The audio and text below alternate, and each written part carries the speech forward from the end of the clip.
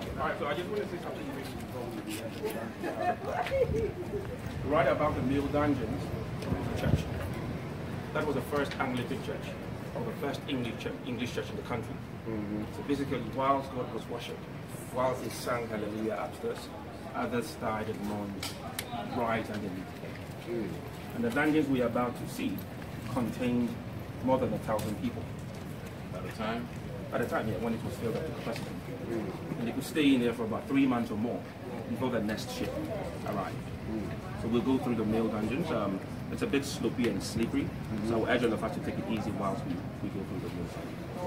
Uh, it should be mentioned that um, these places that we mentioned earlier, they were not um, really, uh, people didn't pay attention to them as real tourist sites, anything like that.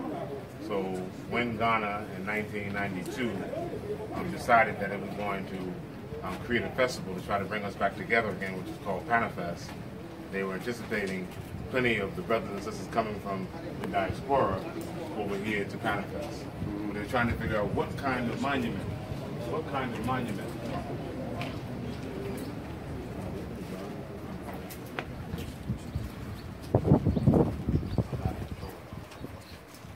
So they were trying to figure out in 1992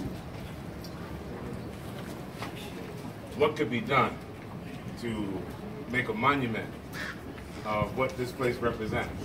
Because nothing here shows our monument. Ah, yes.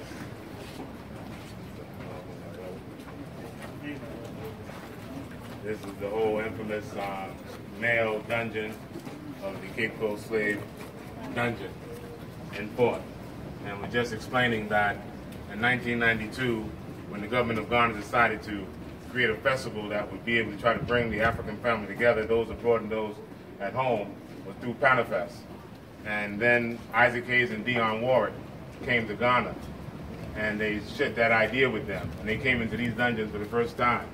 And Isaac Hayes broke down, Dionne Warwick broke down, and they talked about trying to encourage many of the Africans in the diaspora to come home. So 94 was targeted as the big Panafest Festival. And they wanted to put something here monumental that would speak to the atrocities that our ancestors went through. But it was so short that nobody can think of what to do. People said a statue of us breaking chains. Some people said an eternal life. But nobody could really think of what to do.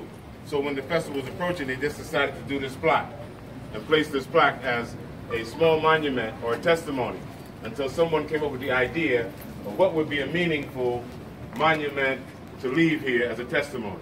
So that's why you got these words here that were put here.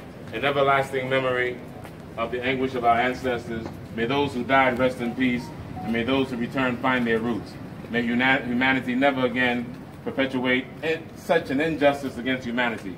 We, the living, vow to uphold this. So that was placed here for Panafest in 1992. And then in 2009, when the world was shocked with the first elected black president in America, with President Barack Obama, Ghana only had a two-week notice. Ghana only had a two-week notice to say that Ghana was chosen for its first West African stop. And people also saying, what are we going to do? What kind of monument can be left? So the plaque on the other side was the plaque that President Barack Obama and Michelle Obama placed with the family. They say they also came through here. So these are really the only two artifacts or monuments that have been placed that has anything to do with those of us from the diaspora and the testimony of our ancestors having gone through the atrocities. This is a real dungeon. This was made to house our ancestors. So watch your Just a second.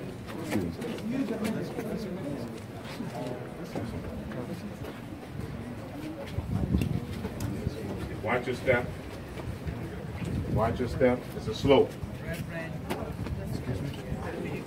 I wish I can see that place. Mm. I wish sometime before I die, I can return. But in that hope, it stayed alive in their DNA. And it produced you and it produced I. That we are here, but we're here because of all of them. And that's why we take an opportunity to call their names out too, to say, I haven't forgotten you. Because of you, we made it back. And we made it back. Mm-hmm. So we want to dedicate a moment of silence and call out every name of every uncle, every aunt, every grandmother, every grandfather, every man in the corner store, every woman on the corner store, everybody, every adult that ever looked down and gave you a hand to lift you up, that you made this journey. Let them share this moment with you. It's a spiritual moment, and the vortex is open because we're back at the scene of the crime. where it all began. Of course, it began with our capture. Of course, it began with the other humiliations. But here was an indelible spot that we knew. Here and all of the other edifices that represent the dungeons along the Gulf of Guinea, along this coast. If it was not this one, it was one like it. Before they were these edifices, they were cages. They built cages on the shores of the ocean before they felt that this was a profitable enough build. And on top of this dungeon, British went to build a church. They said they were Christians. And they called the church SPG, Society for the Propagation of the Gospel. That changed into Anglican Church in this country. Wow. So they were up with their Bible, shouting hallelujah.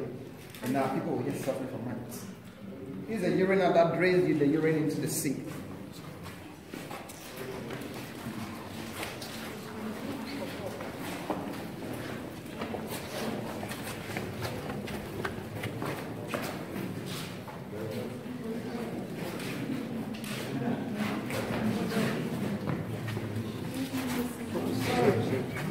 Watch your steps, please. Watch your steps, Carol.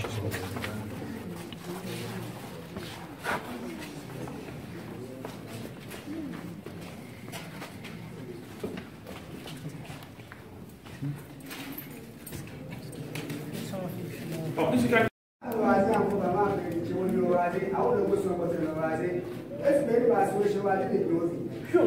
Ruwa ne kai ma bai yau ruwa ne mai kariya ta. Shin yin ka so ruwa ne shi kuma da shi mai gimiti.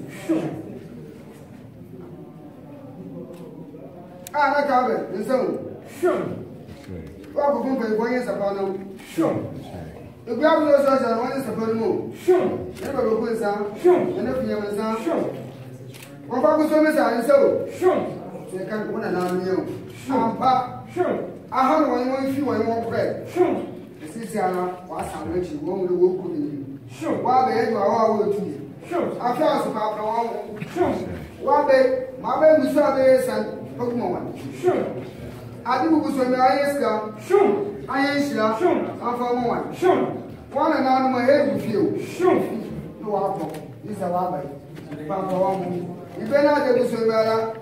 Ayɛ obi nso fa wɔn ìfúnni ẹsẹ ẹdẹmi ìdá àdá ìṣe bi ara ní nsa aka ọmọ ọdún mu fẹbi pa pa pa yẹsẹ mpo. So I'll, I'll explain what uh, that he spoke fancy. That is a language. First of all, he said, "In thank the Almighty God of the supreme being of the of your saving. You are children of this land. He welcomes you. May the Almighty God also bless whatever you're doing here. On your way back, may He protect you so that you can get home safely. May He bless whatever you're doing there. May He bless your children.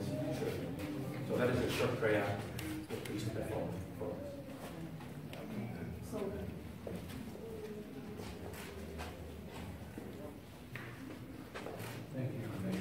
You pay, you pay. Chilling. My sister said, Chilling and having fun. Yeah.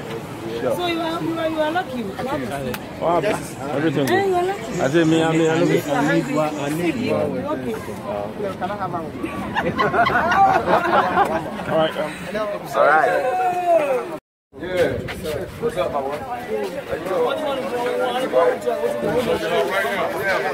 Hey, my sister.